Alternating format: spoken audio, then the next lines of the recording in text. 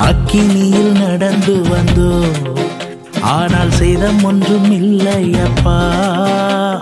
தண்ணீரை கடந்து வந்தோம் நாங்க மூழ்கி போகவில்லை அப்பா.